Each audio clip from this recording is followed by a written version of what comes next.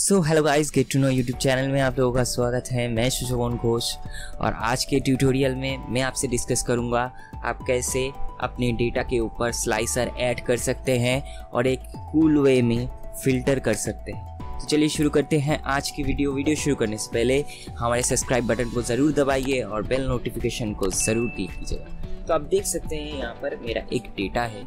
जहाँ पर मुझे स्लाइसर चाहिए और मुझे सेगमेंट कंट्री और प्रोडक्ट पे स्लाइसर चाहिए। तो उसके लिए पहले मैं ये पूरा डेटा को कंट्रोल ए करके, ऐसे कंट्रोल ए करके सिलेक्ट कर लूँगा।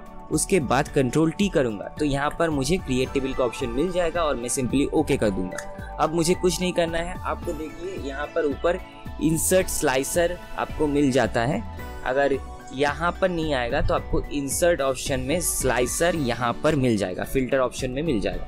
तो आप सिंपली स्लाइसर को क्लिक कीजिए और देखिए यहाँ पर मुझे सेगमेंट में चाहिए कंट्री में चाहिए प्रोडक्ट में चाहिए। और यहाँ पर आप एक मतलब बहुत अच्छी तरह से फ़िल्टर कर सकते हैं। जैसे देखिए यहाँ पर मैं ओनली चैनल पार्टनर में क्लिक करूँगा। तो यहाँ पर देखिए बाकी सभी अन, मतलब यहाँ पर दोनों ही ऑप्शन है, इसलिए दोनों ही ऑप्शन सिलेक्ट रहता है, बाकी सभी ऑप्शन थोड़ा अनसिलेक्टेड टाइप हो जाता है मतलब ब्लड टाइप हो जाता है।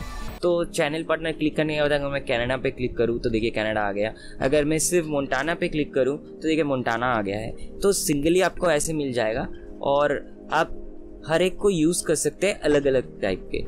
अब आप कैसे फ़िल्टर करेंगे, ये तो पूरा आपके ऊपर है। वीडियो अगर अच्छा लगा, वीडियो को लाइक ज़रूर कीजिएगा। हमारे चैनल में नए हैं हमारे चैनल को सब्सक्राइब ज़रूर कीजिए बेल नोटिफिकेशन